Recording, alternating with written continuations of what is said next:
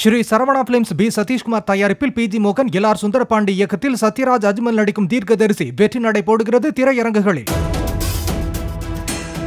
சேலத்தில் ரவுடி வெட்டி கொல்லப்பட்ட வழக்கில் அவரின் இரு பழைய நண்பர்களை பிடித்து போலீசார் விசாரித்து வருகிறார்கள். தாதகாப்பட்டி பகுதியைச் சேர்ந்த ரஞ்சித் குமார் என்பவர் மீது கொலை கொலை முயற்சி கொள்ளை என இருபதுக்கும் மேற்பட்ட வழக்குகள் இருந்தன.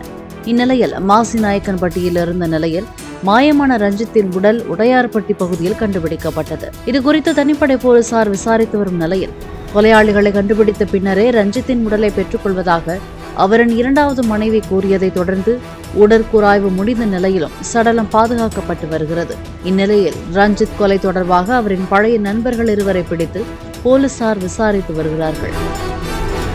ஸ்ரீ சரவணா பிலிம்ஸ் பி சதீஷ்குமார் தயாரிப்பில் பி ஜி மோகன் எல் ஆர் சுந்தரபாண்டி இயக்கத்தில் சத்யராஜ் அஜ்மல் நடிக்கும் தீர்க்கதரிசி வெற்றி நடை போடுகிறது திரையரங்குகளில்.